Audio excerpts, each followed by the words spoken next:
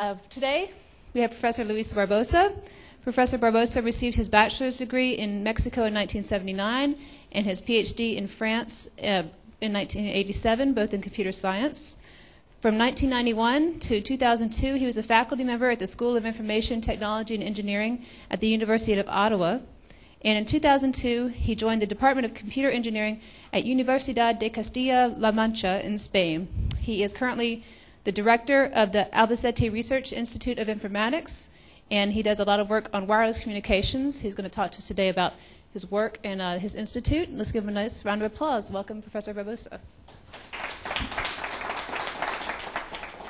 Uh, thank you very much for coming, and thank you very much for the invitation and the opportunity to come and talk to you about the activities in our research institute. Before, coming, before going to the topic of my talk, I would like just to say some few words about uh, where I'm coming from. So uh, I'm coming from the city of Albacete, that is, I just marked here. It's not a very big city, 200K uh, people. It's two hours from Madrid, the capital of uh, Spain, and not very far from Barcelona, about five hours as well. It is located in the region called Castilla-La Mancha. It is the central southern part of Spain. It's a region that is not very developed. I mean, there is no high-tech companies there, but there is uh, interest in all regions across Europe, not only in Spain, to develop these regions, in, involving them in innovation projects. And for that, they have been calling the universities as well and research institutes. So I'm going to be here talking about the role of our, our research institute in going into innovation and supporting the development of the region. For those who are not familiar with this region, that maybe you have not heard about it, maybe you have heard about this little guy, Don Quixote, the man of La Mancha. So that's the land of uh, Don Quixote.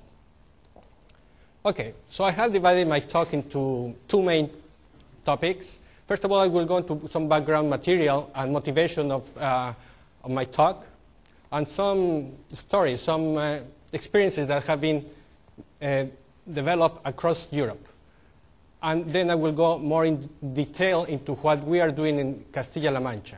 First of all, presenting what Castilla-La Mancha, what are the main characteristics of this region, and the activities that are being developed in our university and in our institute. The background of this, or the motivation is, um, how, how can the university contribute to the regional development more than what we normally do? Okay, we do research, we teach, we train people, but now we, have, we are being called to innovate and to participate with the local industry or with companies in the technology transfer of, this, of the results that are being developed in our labs. This, in Europe, there is the objective to develop the, what we call the knowledge society, that for its growth depends on the production of new knowledge. This new knowledge is normally created in the universities okay, and it's transmitted to the students through education. But now we have to go a step further, as I already mentioned. We have to be, get involved into in innovation process to create new ways to solve things, new services, new products.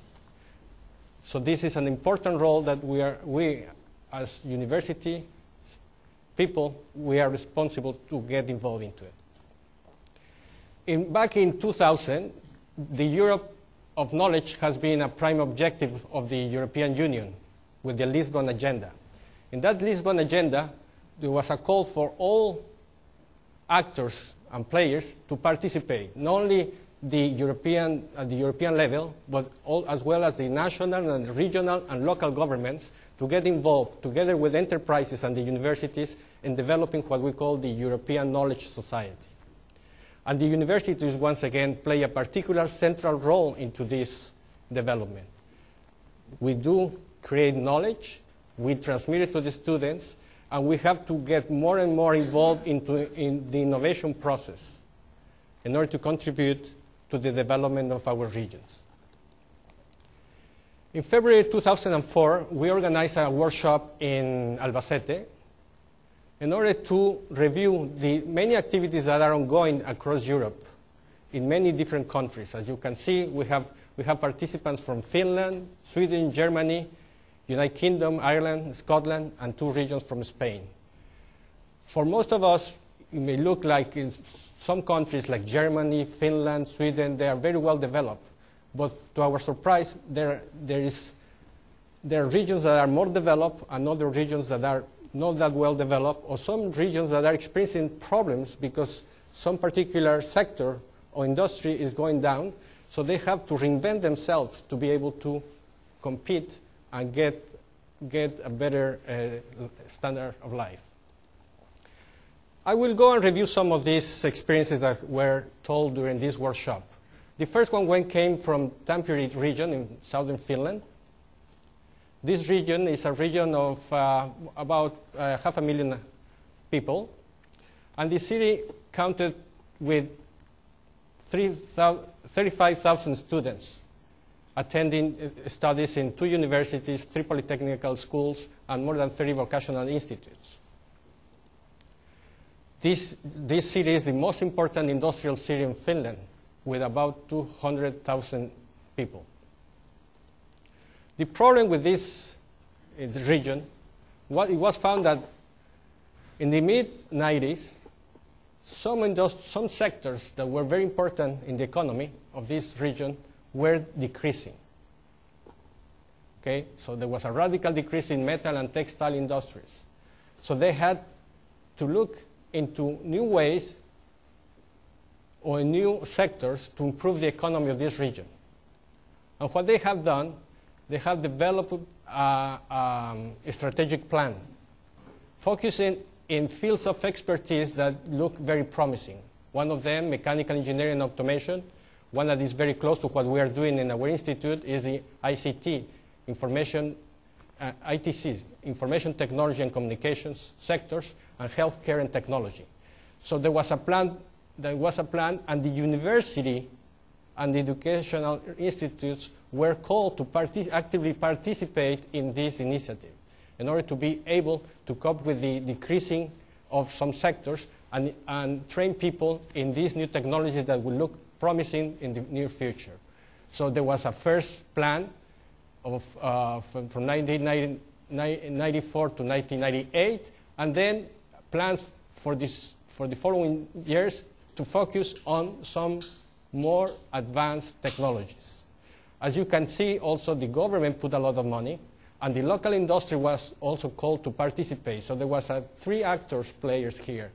The, the universities, the private sector, as well as the regional, as, as well as the regional government.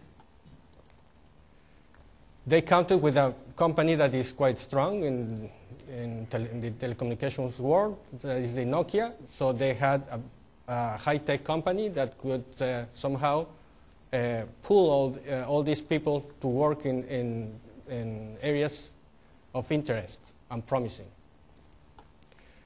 There were also created research professorships where in order to establish a good and a strong university.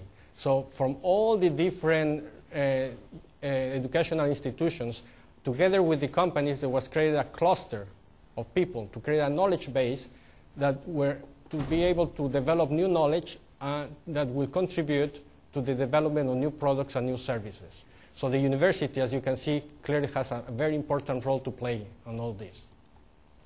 Another uh, experience that was also uh, presented in this workshop in Albacete came from another uh, northern country, this time Sweden, and specifically from the region of Blekinge. It's a small region with a population very, very close to our city's population of 150,000 people. And they have also a success story to tell us.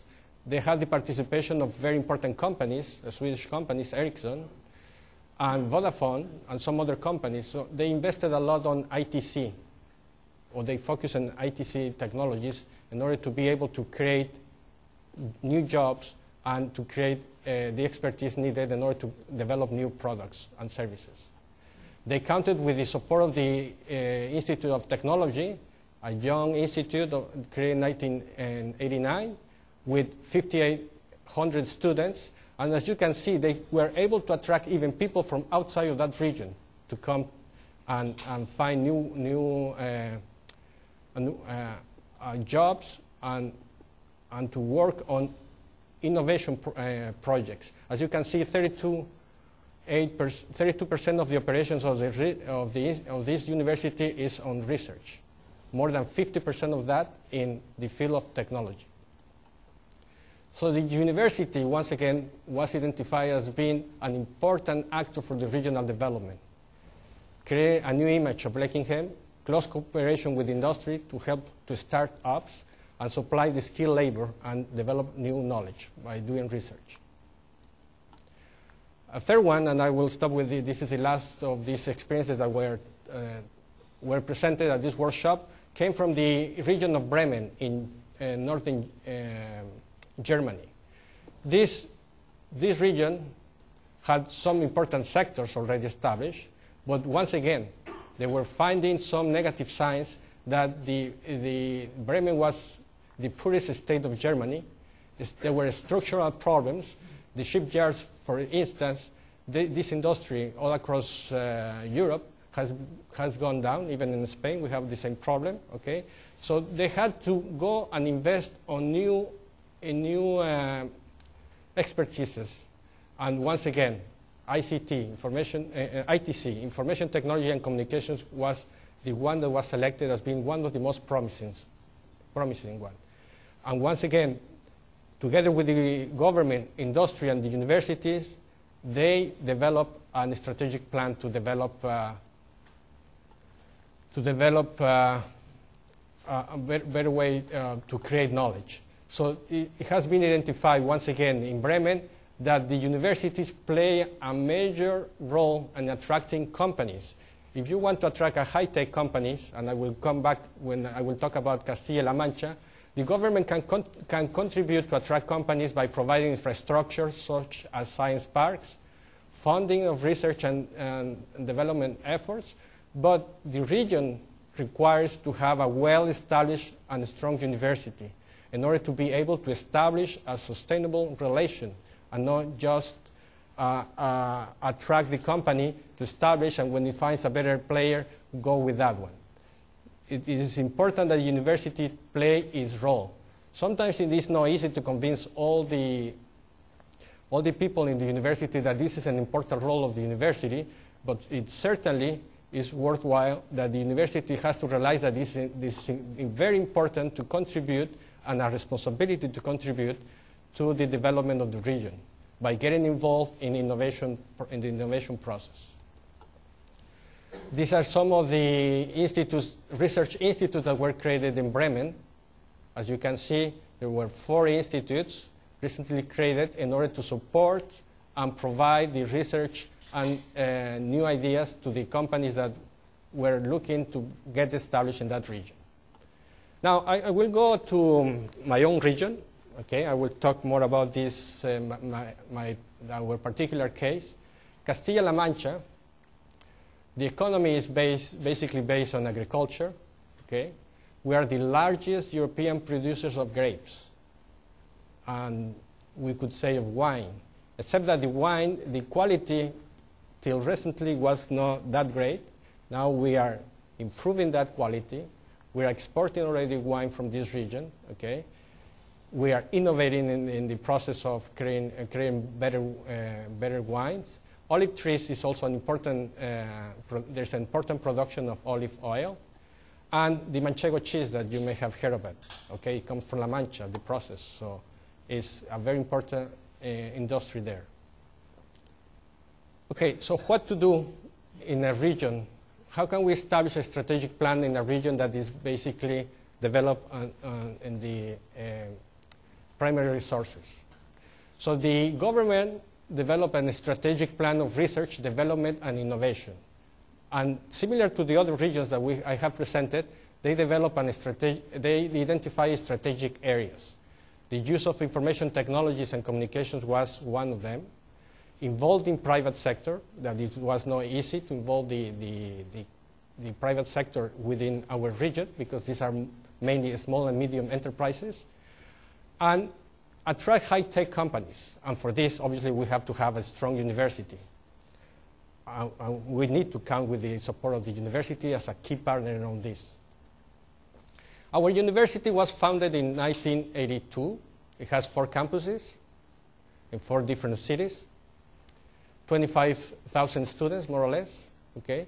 There are few but well-established graduate programs. Obviously, in agricultural uh, studies, we have a well-established uh, program, information technology, and chemistry as well. This is the university campus. Actually, this picture here, and this, this is the sports complex, and this is the school of Polytechnic, uh, the engineering school. And this doesn't really make part of the university campus. This is the building of the research institute that makes part of the science and technology park who has been, which has been developed just across the street from the university campus. This is, a, I, I will come to the Science and Technology Park. The main mot motivation of this, and this was within the strategic plan developed by the, our region, the mandate of this uh, Science and Technology Park was to create a space where the university and the private sectors could be partners. The private sector, the companies, some of them, they were given space in, this, in the buildings of this Science and Technology Park with the compromise that they should collaborate with the, with the university in doing, uh, in, in ensuring the transfer of the results from the research into new ways to develop services and products. The Science and Technology Park has been a lot of money put into it in order to develop state-of-the-art infrastructures, not only buildings, but as well equipment, okay, to support the research support of, for the creation of spin-offs. So there is a building dedicated just to host these spin-offs coming both from the university as well with from the private sector. So people that have a good idea, they can go there and rent for nothing space. For a space of, uh, for a time space of two, two years, they, uh, somebody can go there, start to develop their, their, their product, their business, and then uh, go, to the, go into the market to try to see how, how this will work. Okay? There's also a lot of funding of research and innovation projects for with special aim of technology transfer so, and support to the, to the university and to the private sector in order to be able to be more competitive and go into, the, uh, into Europe to get Europe, European projects ongoing. And this is a very competitive uh, project okay, that requires the, the to get involved not only the research institutes, but as well enterprises that will ensure or somehow will be interested in, uh, in the technology transfer process. In the Science and Technology Park, there were five areas that were identified as being key for our um, region. One of them is biotechnology. And believe it or not, this is an important area for the agriculture. Control and automation was also, and actually this was pushed more than for, from the government, it was the, the private sector that pushed for this. They needed the control and automation. Energy, new ways to produce energy, and now, well, solar energy or other kind of energy. This is a very important sector. Water resources, we have a lot of problems of water in, in our region uh, across, across Spain is, is, is, is strange. We have a lot of water in the north, more than what we need. Actually, we had some floods. And in the other, in the other hand, we have uh, cities like Barcelona that are starving, that they don't have enough water. Okay? And then informatics. Informatics is another key, key area, or more than informatics, information technology and communications, to be applied in all these sectors across or develop new products, consumers. The Albacete Research Institute, the one that I'm the director of, its main mission is to conduct and participate in ITC research projects in close collaboration with the private sector for, to ensure the technology transfer of our result. A large number of students are training and participate, sponsored by contracts with the local and national industry and European, national, and regional research programs. Okay, so it's important for us as uh, one of the missions is to train people into these new areas. Regarding the human resources, there are five research labs dealing with various areas of information technology. I will go over in the following slides. More than 110 full-time prof researchers, professors, mainly around 60 professors, scholarship holders, and researchers under contract. This is after five years of activity that we have been able to, well, to come to these numbers that for our standards they are quite good. Uh, experience that we have, uh, we built this institute. Actually, this was the institute that was more easy to get established because we had already a computer engineering department. So we took from there the professors and the researchers with more than 20 years conducting research, a strong ba background on training and research, but not very successful on technology transfer. We just stay in, in the classroom, but we were unable or we are not very good at selling things outside. Regarding facilities, well, we were giving a lot of money to buy equipment, computers, like high-performance clusters. We have a, a, node of the supercomputer center of our university, virtual reality labs, simulation tools, and we are more into uh, developing experimental prototypes using technologies that are available in the market, like uh, high-performance interconnects, InfiniBand, Myrinets, that are used to connect a large number of uh, processors. Wireless sensor networks has been one an area that is, has been uh, given a lot of attention. Robots, development of systems for machine intelligence applications, surveillance and things like that. Computer-based vision systems. The five labs are divided into this. So there is one lab in intelligent systems and data mining.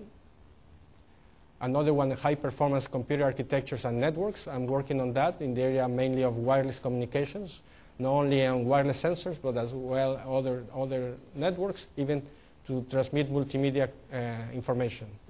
User interaction and software engineering, there is a lab on virtual reality, computer vision, Actually, this lab, they have been working a lot on also on um, extended, I think it's called extended reality. Uh, I was, um, this lab is working with uh, the public television of Castilla-La Mancha, and one of the things that they are developing is ways to, to change the scenarios, the background of the, what you see on the, on the TV, in order, uh, using extended reality instead of having to physically change the scenario in order to save on, on money and time to deploy those, those uh, facilities. There's also a lab um, dedicated to real-time and systems. They use formal models to verify software. They use also grid computing to, for calculations. I will show some of the projects that we are, we are having uh, ongoing. And then there's also the distributed information systems An important area that they are focusing is in geographical information systems. Now for innovation, I will show you some of the um, projects that we have. Obviously, well, we want to focus on key sectors of Castilla-La Mancha. One, of the, one is in the agriculture, mainly on food chain.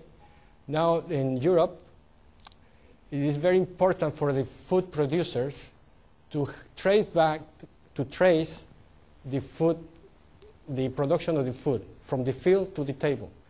Let's say like a company, a supermarket, should be able to trace back together with the distributor and the producer where a particular product, let's say a watermelon, comes from. What kind of fertilizers were used in order to, to produce that, that product. So all of that has to be followed up from the field till it comes to the, to the table of the, of the consumer. Okay? So this is a very important sector and there is a regulation in, in Europe that all the food that is produced, it has to be, eh, we have to be able, as a consumer, to be able to know where it comes from and what has been the process involved in order to produce that. Another area important is the disaster management, fires, that is a common problem during the summer season in our, in our region because it's very dry. I will show you some, some ideas of this let, let me just go. This is a project that we are developing. It has been sponsored by the regional government, and we try to put it together for uh, a European project. Basically, what is what is is, uh, is an information system that will be able to deliver important information to the firefighters when they have to go out in the field, work there, and, and fight the fire. Okay? So, well, there was a project motivation. Actually, we sold this to the regional authorities uh, saying, well, we know that the, the forest fires, they have to work under extreme conditions. We know that they have a lot of technology already there in order to increment, to improve the efficiency and the safety of while they are doing the, their, their jobs, like fireproof clothing, masks, water pumps, radio systems, okay? But there are information that many times is not made available to the, to the uh, firefighter. Sometimes they don't know exactly where, are, where the fire, how the fire is developing, okay? They don't know how, where their colleagues are at one point in time. They don't know what the areas have been already burned, okay? So what we propose is to use a system that it has to be deployed on the spot as the fire is developing, as they come there to fight the fire, and based on new technology. And for this, we're, we're planning to use wireless sensor networks. So the scenario will be basically this. We have the forest, suddenly it breaks a, a fire. The, the, the, resources are put into place in order to, to, uh, to go and combat the, the fire. And then we have new technology here, deploy. A plane that will deploy on the spot as a network that will be able to be configured on the spot. Okay, it's a network that will be built in an autonomous way. Everybody will be connected. First the nodes, and then even the firefighters. Okay, they can obviously move from one region to another one. Okay, we have to be able to know where the different nodes are to have a reference, not only in time but on space. Okay. Once we identify that, we have also the possibility of doing some collaborative processing. As the fire is developing, these nodes, they can start to send this information to the central control. In the central control, normally they, what they have, they are, have fire models where with this data, together with the wind, the, the, the knowing the landscape characteristics, the humidity, and all that, they can predict what will be the de development of the fire in the, in the, in the time to come, okay? So this is a, a new application for this kind of uh, sensors, okay? So this is developing here a map, a chart, and we'll be able to predict. And this information can be provided to the firefighter through a device like this one, okay? On the having an idea of how the fire behavior, the fire is behaving, the position of their colleagues, the escapeways and safety areas. This is very important. Two years ago, there were people, there were some firemen who got killed because they didn't, they were just uh, unable to find their way out. Okay?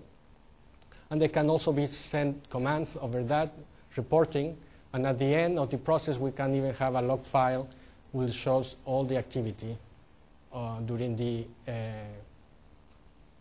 during the, this campaign. So this is one application that we are looking, and we, are, we have been able to get some, some money to, to do it. And the other one is this one that is very, very similar to what this has been done here in California.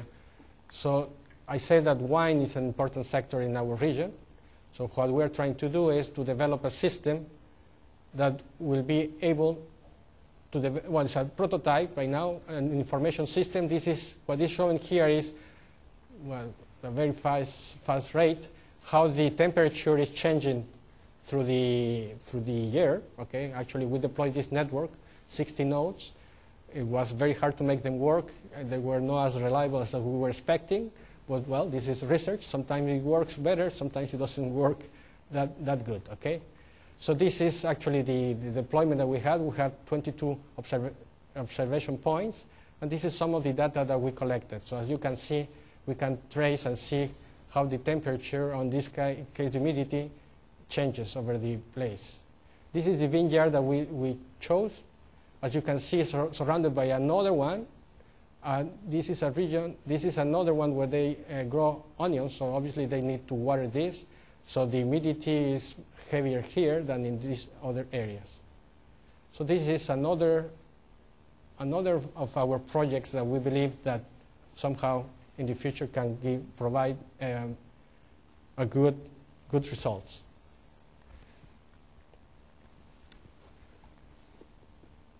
Okay, let's go back to my presentation here. So this is some of the projects in innovation, as you can see.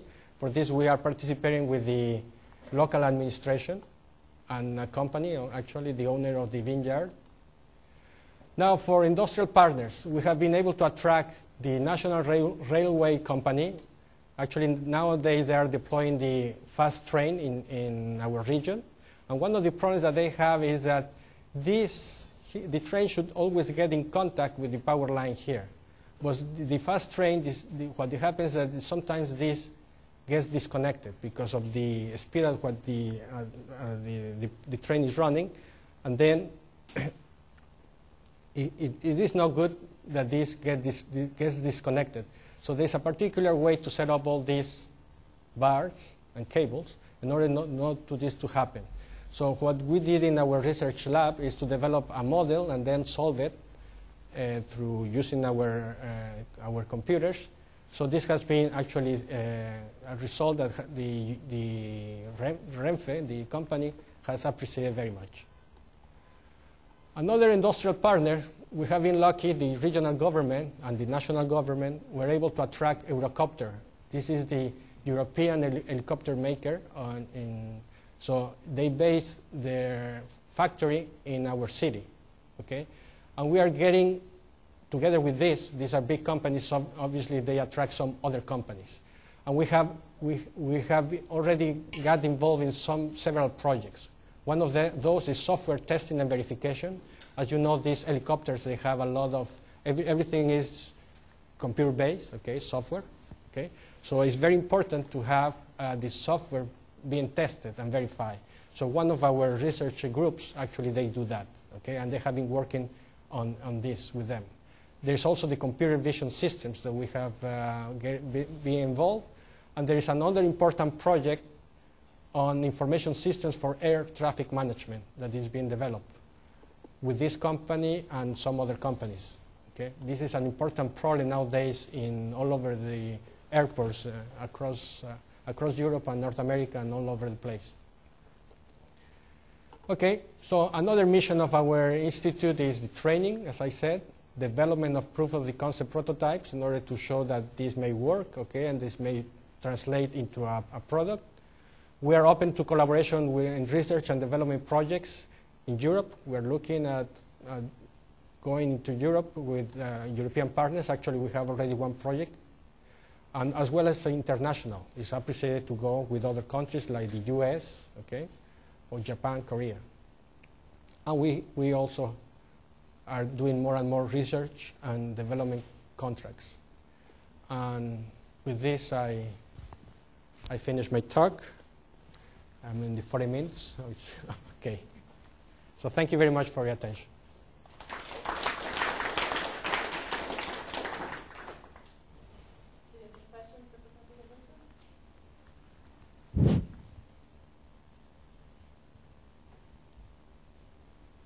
Dan? So with the Yeah. with the the fire project, Uh-huh. um, have you have you developed the the nodes yet for that? No, no, no. We are we are in the lab. By now, we are in the lab. I don't know if we are going to be able to go in the field. Okay. What we are developing now is the collaborative application, the one to integrate that for the fire model to be able to to send the information to the fire model and then well, forecast what it will happen. Yeah. But this is uh, by now is very basic on, on the lab. Yeah. I, I, I, so you're, you're not thinking about how, because most likely the nodes are going to be destroyed as the Yes, yeah, we, we're, yeah, obviously, yeah. Actually, I have seen uh, that was an interesting project. I think it came from Sweden last year in the conference Right. that you attended. There was somebody that has developed paper, paper sensors. So it, it seems that what says, well, it doesn't matter. It will burn this paper, so it will not even pollute the region. right. But uh, well, as I said, well, by now we are just using the standard uh, off-the-shelf uh, products, and just to try to see if we are able to develop the the um, fire model. And and with the um, uh, your vineyard sensors, the, the fact that there's an onion field just Yes. to the north, I mean, that seems like it might affect the the soil pH as well. Are, have you thought about putting those kinds of sensors in the ground because it Yes, yes. Actually, on that I have to rely more on the people that know more about the chemical stuff. there, Right. Okay, my, my my area is more on communications. So what actually I would like to integrate into that is not only the environmental conditions, but also the human uh, activity that you know they trim the, the the plants, they go and put fertilizer, they water. So all that I would like to put it into a database and then uh, get involved with the group on data mining and maybe find some uh, some explanation of why the production one year is better than other. Interesting. Great. Okay, we have another question over here. Uh, I guess uh, my question is uh, uh, the life after uh, school age. You said lots of uh, uh, the uh, local uh, activities uh, between universities, uh, let's see, local government and industries. However, when the student graduate without very strong, let's see, industry or somewhat in local, probably students go away somewhere maybe outside of the La Mancha or wherever. Okay, so that in that kind of situation, I have two questions. Uh, actually, how many uh, see uh, people after school stay in local? Maybe percentage. That was first question. And if it's tangible, I mean, maybe large number, how can you do that? That's the second question. Yes. Well, yeah, that's true. If we don't have a strong industrial partner, the people go, go away, okay? The first problem that we had to solve is to make the people stay in our university, okay? Because sometimes, well, you go by the reputation of university. Why to study in the local university? You have the school, uh, the Polytechnical School of Madrid, okay? So, well, we have been able to, to make the people stay in our region to study. Graduate, uh, I mean, uh, their engineering degrees or their university degrees. And, the, and we have been very successful in, in attracting important companies like the one I mentioned, Eurocopter, and there were other seven coming there. Okay? And we have also been very successful in creating spin offs. Actually, there are something like 34 already. And many times now I'm finding that I have been so, such successful that I'm having very hard time to find people to stay in my labs and work with me because they go just across the street and they find a job there with better with a better salary obviously okay? We know the scholarship holders they don't earn much okay? So that is going very very very well. I think uh, by now the job market for the students locally has improved considerably. So i don't know if there were a couple of questions. I don't know if that answers both or yeah. Do we have any other questions here today? Okay, well, thank you so much, Professor Barbosa. Great job. Thank you. Thank you.